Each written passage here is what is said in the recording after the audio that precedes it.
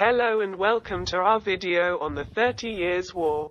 The Thirty Years' War was a devastating conflict that took place in Europe between 1618 and 1648.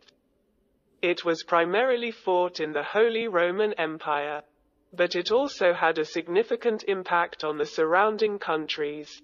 The war was sparked by religious tensions between Protestants and Catholics but it quickly escalated into a broader political conflict involving many of the major European powers of the time. The war saw a number of major battles and sieges, including the Battle of White Mountain, the Battle of Lutter, and the Siege of Magdeburg. One of the most significant aspects of the war was the impact it had on the population. It is estimated that up to 8 million people, or about a third of the population of the Holy Roman Empire, died as a result of the war. This included both soldiers and civilians, who were often caught in the crossfire or suffered from famine and disease. Despite the devastation, the war had a number of important consequences. One of the most significant was the weakening of the Holy Roman Empire, which eventually led to its downfall.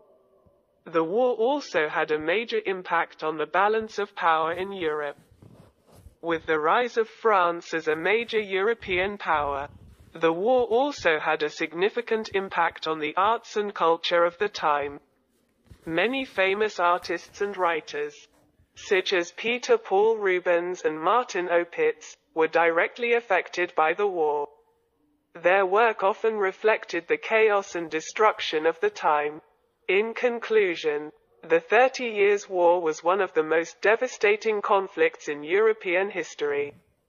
It had a major impact on the population, the political landscape of Europe, and the arts and culture of the time.